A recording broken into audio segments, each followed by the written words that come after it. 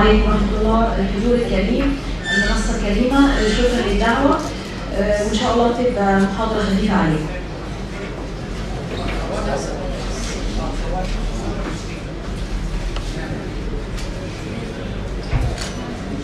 Parasitology, a way to discover parasite in ancestral Egyptian. Uh, Paleoparasitology is a branch of a bigger uh, a bigger uh, علم كبير جدا هو ال paleontology وعلم ال paleontology هو علم الحفريات. وعلم الحفريات هو العلم اللي بيدرس كل حاجة قديمة. آه، كل حاجة قديمة من زمان جدا اللي هي من أول ال plant animal even human and even parasite and microbe. آه، إذا ال parasite ال paleoparasitology هو study of parasite في ال human and animal domain. Even في ال في ال feces اللي هي ال fossilized. طيب ال paleoparasitology ليه sample، إيه ال sample اللي بيستخدمها الناس اللي بيشتغلوا في ال paleoparasitology؟ ال samples دي زي ما قلت لكم انها human remain أو animal remain وكمان حاجة اسمها ال fossilized feces اللي بيسموها ال coprolite. طيب إيه الأدوات وال tools اللي بيستخدم في ال paleoparasitology طبعا إحنا عارفين إن هو الناس بتوع ال parasitology أول أداة ليهم هي الميكروسكوب. آه، إيه الأدوات الأخرى؟ طبعا مع تقدم العلم ابتدوا يستخدموا ال- الأدوات الجديدة من ال immunology even وصلنا لل molecular biology طب في أدوات أخرى؟ آه في أدوات أخرى في ال imaging من أول ال X-ray وال MRI وال CT وكمان ال endoscopy دي صورة لل fossilized feces اللي بتستخدم آه، في في التعرف على الطفيليات. طيب آه، إمتى ابتدى علم ال paleoparasitology؟ علم ال paleoparasitology ابتدى سنة 1910 عن طريق آه، Sir أرمان آه، روفر باكتشافه لطفيل آه، أشهر طفيل في مصر وهي كانت قدرا هذا الاكتشاف كان قدري وكان سنة 1910 إذا مصر كانت مهد ابتداء علم ال paleoparasitology ومن هذا المهد اللي هو مصر ابتدى ينتشر علم ال paleoparasitology في الشرق الأوسط في سوريا في العراق في إيران وفي السودان وفي فلسطين وحتى قبرص. طب إيه الأماكن اللي هي اتلقت فيها المومياوات اللي فيها الطفيليات؟ طب ليه إحنا مه- مهتمين إن إحنا هنعرف أماكن تواجد هذه الطفيليات عشان هنعرف نفرق. آه، انتشار الأمراض أيام الفراعنة كانت فين ال geographical distribution بتاعها كان فين زمان والوضع الحالي لهذه الطفيليات. آه، أول وضع هو وجود ال- الأشهر أشهر مكان كانت طيبه، طيبه اللي هي الأقصر. وليها أماكن كتيرة جدا حاجة اسمها جبلين والمقبره بارانفرر والدير البحري والدير المدينة كل دي أماكن في الأقصر اتوجدت فيها مومياوات وفيها طفيليات. طبعا آه، برضو أسوان من ضمن الأماكن اللي اتوجدت فيها ال- برضو طفيليات آه، وبرضو وصولا لسوهاج في أخميم وأبيدوس وبرضو في اتين واللي هي ملاوي حاليا أسيوط كمان ليها نصيب من هذا آه، الطفيليات المومياوات اللي فيها طفيليات الوادي الجديد آه، فيها الداخله والخارجه وأخيرا منف اللي هي آه، بنسميها اللي فيها آثار 100 رهينه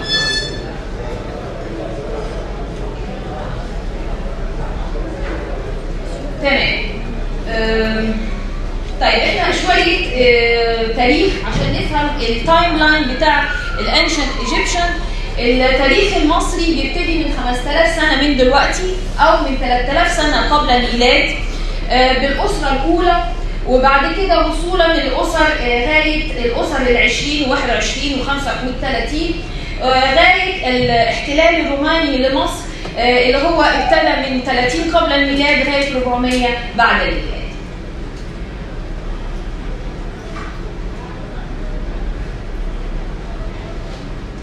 طيب إيه اللي قالته وأص- المومياوات وإيه الأسرار اللي كشفتها المومياوات؟ المومياوات قالت ل Sir ارمان روفر هو ده الطبيب ال pathologist ال microbiologist اللي جه مصر آه، كان جاي يعني للاستشفاء من مرض التيفوس هو مسك ال- في مصر الشؤون الصحية وشؤون ال quarantine هنا في مصر وكان ليه يد بيضاء على مصر في القضاء على الكوليرا. آه، هو ليه أبحاث كبيرة جدا آه، في علم ال pathology بتاعه. وهو اللي خلاه ي- ياخد آه، آه، عينه من المومياوات إن هم زمايله كان عندهم مشكلة في إن كل عينة بياخدوها كانت تتفتت كل ال tissue اللي كان بياخدوه كان يتفتت فهو اكتشف طريقة في عملية ال rehydration لهذه إيه ال ال ال tissue فهذه عملية ال rehydration لل tissue آه، قامت بعمل عظيم جدا وهذه الطريقة مأخوذ بها إلى الآن في عملية هذه ال rehydration. طب إيه العينة اللي أخذها؟ آه، عينة من ال liver وعينة من ال kidney وقام بنشر هذه قام بنشر آه، ال- المقالة بتاعته هذا الاكتشاف في ال British Medical Journal حيث إن هو اكتشف آه، ال- ال schistosoma في ال liver tissue وال kidney tissue بتاعت هذه المومياوات. ومن هنا ابتدى علم ال paleoparasitology ينتشر وباكتشاف الايه ال schistosoma haematobium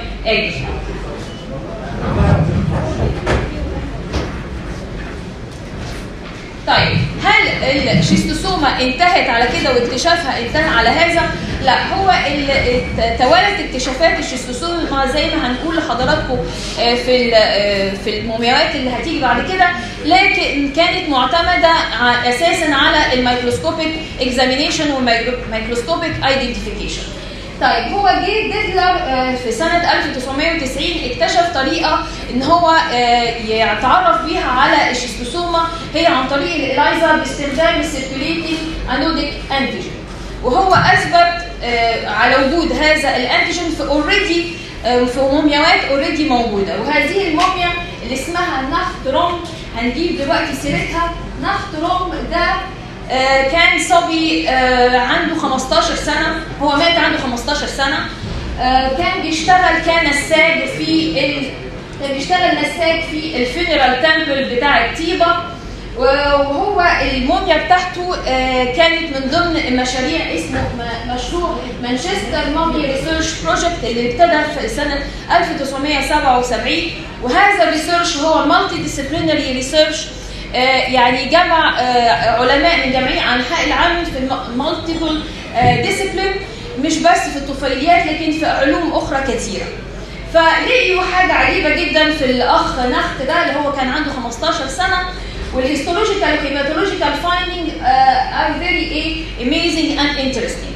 أول حاجة لقيوا calcified schistosoma في ال early cirrhotic liver وبرضه لقيوا في ال kidney بتاعته برضه schistosome إيه تاني لقيوه لقيوا في ال bladder بتاعته ان كان في اثار ل erythrocytes وده اكبر دليل على وجود hematuria إيه تاني لقيوه في هذا الشخص في هذا الشخص في هذا الصبي الصغير الصغير اللي كان بيشتغل نساج لقيوه schistosoma في ال intestine بتاعته وهو ده العجيب إن إحنا نلاقي schistosoma في ال intestine. وده مش أول عجب هنشوفه هتتوالى العجائب فيما بعد.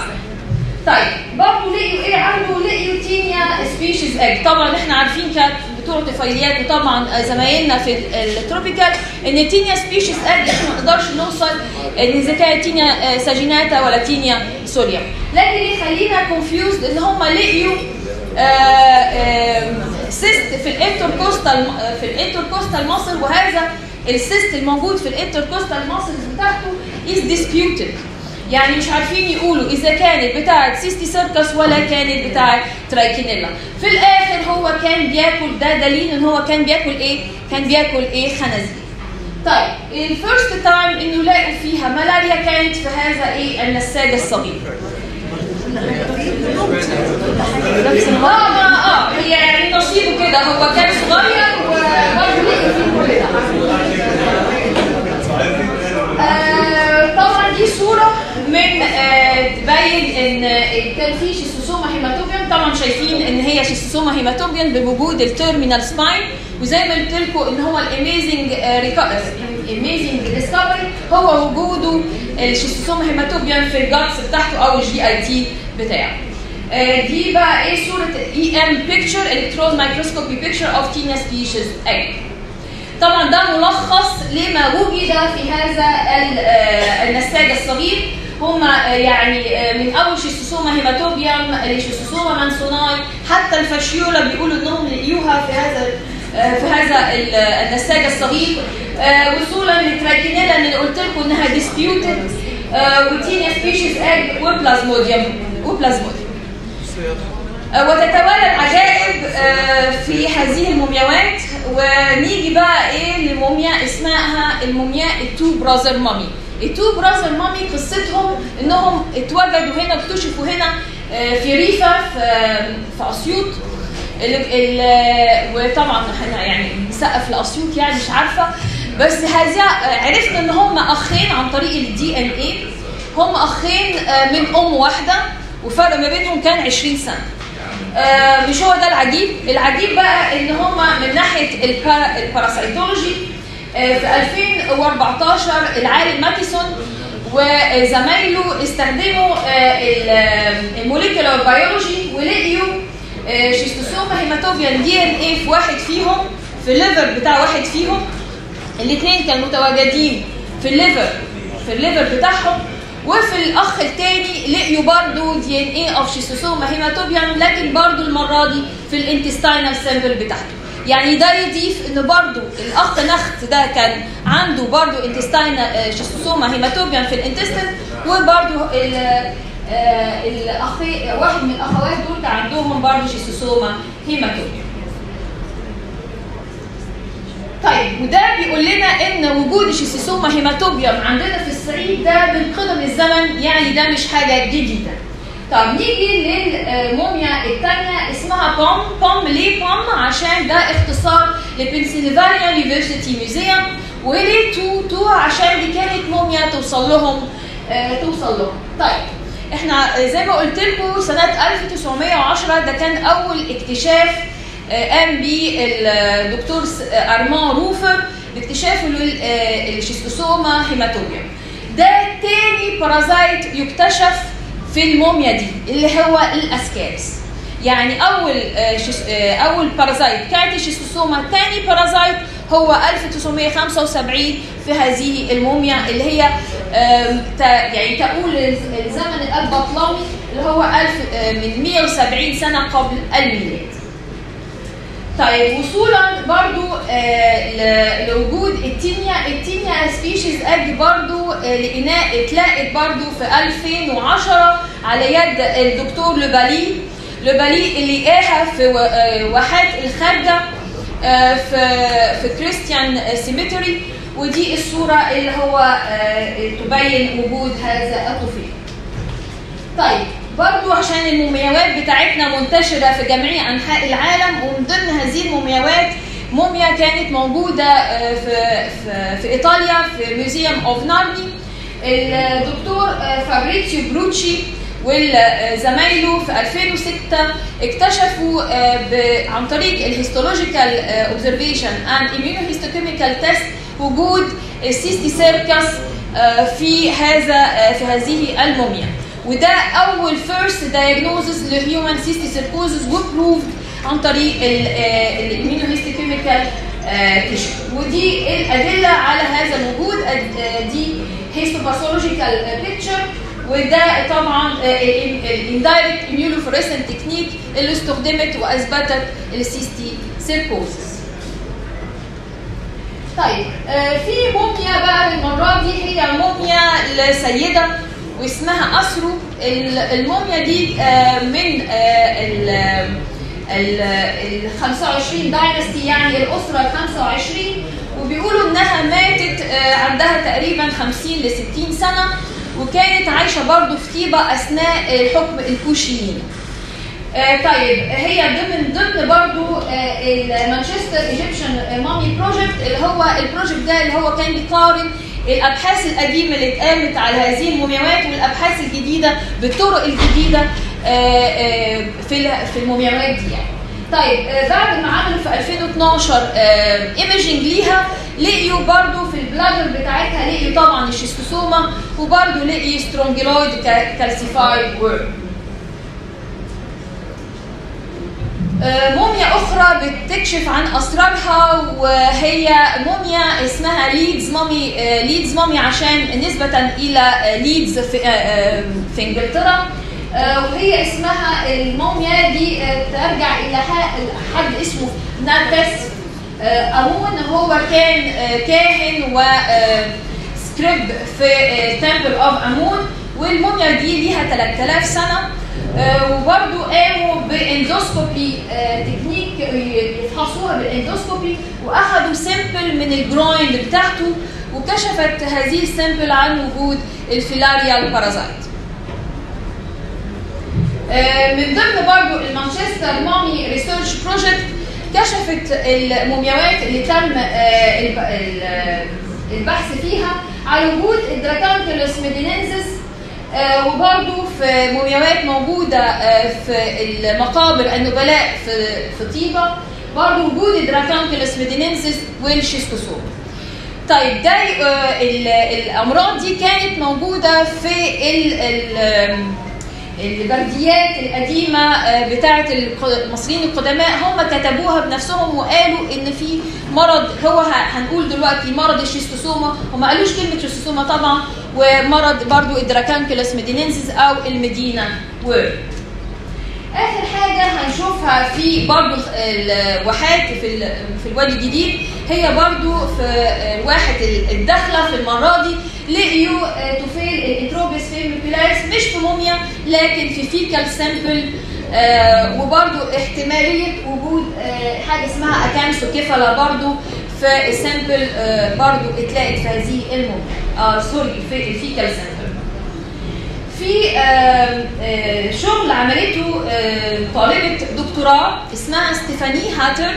ستيفاني دي اشتغلت على كذا مكان آه، في مصر وعلى كذا remain ومن ضمن ال remain اللي اشتغلت عليهم canopic jar canopic jar دي هي ال jar ات اللي كانت بيحطوا فيها الأعضاء والاحشاء بتاعه الإيه بتاعه المومياوات. وفي هذه ال jar لقيت آه، Trichocephalus آه، وبرضه لقيت في آه، دير المدينة في الموميا في دير المدينة آه، أول حاجة بيستعجب لها وهستعجب يعني تستعجبوا معايا Diphyllobothrium latum أيوة Diphyllobothrium latum اتلاقت في دير المدينة في الأقصر في موميا آه، في موميا. فيه إيه تاني؟ Trichocephalus و Ancylostoma طيب اشتغلت برضو في سقارة على مومياوات في سقارة ولقيت فيها Fasciola وبرضو Diphyllobothrium latum يعني سقارة ده في في الدلتا و Diphyllobothrium latum برضو فين؟ في طيبة في الأقصر في إيه؟ في جنوب مصر. برضو لقيت حاجة جديدة جدا إن هو في حاجة اسمها embalming jar. embalming jar دي كانت آه، تحوي آه، بقايا عملية الايه التحنيط. يعني أي حاجة بقايا عمليات التحنيط كانت بتتحط في الجار ده. فالجار ده لقيوا فيه آه، اسكارس موتينيا سبيشيز أجي طيب. آه برضو بقى إحنا كل ده كانوا هيلمنسز نيجي بقى إيه ل- آه، لليشمانيا لقيوا لقينا ليشمانيا آه، الأخ زينك وأصحابه لقيوا في 2006 أول proof ل visceral leishmaniasis أيوه visceral leishmaniasis DNA في أربعة من 91 mummy قعد يدور فيهم وهذه المومياوات كان ليهم 4000 سنة. ومسك الختام في المومياوات هي موميا الفرعون الصغير هي موميا توت عنخ آمون. موميا توت عنخ آمون آه، زاهي حواس في 2010 وفريق آه، بحث آه، أجنبي اكتشفوا إن هو توت عنخ آمون وخمسة من ال royal mummy لقيوا فيهم Plasmodium falciparum وده يمكن يفسر موت البدري لهذا الفرعون الصغير. طيب آه زي ما إحنا قلنا في endo parasite helminths و protozoa آه نقول إن برضه في ecto parasite ال ecto parasite اللي لقيوها لقيوها في شعر وبواقي آه كون هي وجود ال head lice وكمان لقيوا آه ticks وكمان louse fly آه وآخر حاجة هي ال Ebers papyri زي ما قلت لكم في دي آه مخطوطات آه اتكتبت من 1500 سنة وجمعت آه، حوالي 800 medical situation وال treatment بتاعها. طب إيه اللي استفدناه من هذا العلم؟ استفدنا إحنا عرفنا على الأقل إيه مدى يعني الطفيلات اللي كانت موجودة من زمان، أدينا عرفنا حتى يعني استعجبنا على وجود ال Diphyllobothrium latum، وجود ال Plasmodium falciparum، وجود ال Leishmania donovani، برضه ال paleo environmental ال paleo environmental reconstruction وال climate الموجود وأهم حاجة عرفنا ال life style بتاعت ال- الناس اللي هم ancient Egyptian إذا كان بياكلوا ال hygiene ال dietary habit وال waste management طيب in conclusion إحنا عرفنا إن إحنا آه، وجدنا آه، Schistosoma haematobium DNA في GIT وده حاجة عجيبة ولازم نفكر فيها كلنا. آه، برضو لقينا وجود الاثنين في شخص واحد وجود ال Schistosoma haematobium and mansoni في إيه؟ في, في, في نفس المكان في جنوب مصر. آه، طبعا زي ما قلت لكم Dracunculus وال Fasciola برغم أنا شخصيا شايفة إن هم بيقولوا إن ال Fasciola كان incidental parasite بس هي موجودة من زمان يبقى إزاي بقت incidental دي خريطة بتبين distribution of Diphyllobothrium latum زي ما أنتم شايفين Diphyllobothrium latum هي موجودة في ال northern hemisphere مفيش أي تواجد لل Diphyllobothrium latum خالص في منطقتنا. وده برضو آه، آه، دي خريطة ل- Leishmania donovani آه، في 2016 دي WHO geographical distribution بتاعها. ومفيش أي سيرة عن وجودها في مصر. وده نقول لكم شكرا وأكون خفيفة عليكم. بس دي لاحظ حاجة. هو كان بيفحص كان تركيز طبعا ان هو بيدور على وظيفه معين أو حاجة معينه كل واحد عنده target ممكن يدور كده هو حضرتك هو كان multi disciplinary هو multi يعني ناس من بتوع حتى بتوع اسنان بتوع pathology هم مش رايحين يدوروا على parasite هم كانوا بياخدوا عينات ويفحصوها باثولوجي يعني كل كل التخصصات اللي هو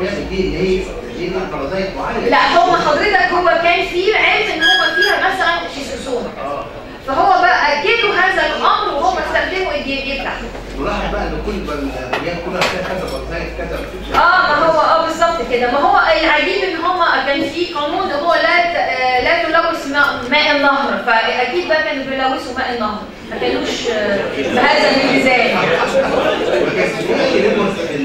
درسوا عن في الوقت ده. نعم يا فندم؟ ما كانش فيه تريتمنت لا في يا فندم لا كان في تريتمنت هي عشان كده هي البكتيراي هو بص حضرتك العلم كتير جدا لو قعدنا على هذا ال- الأمر بس فالكلام كتير جدا. هي الالبس بكتيراي دي فيها تريتمنت وذكرت ذكرت حكاية الهيماتوريا يعني الشيستوسوما اتقالت كأنها هيماتوريا هو ده ال لا أقصد التريتمنت. هو التريتمنت. والتالت في ريبورت. في ريبورت في آه. شكرا. عافية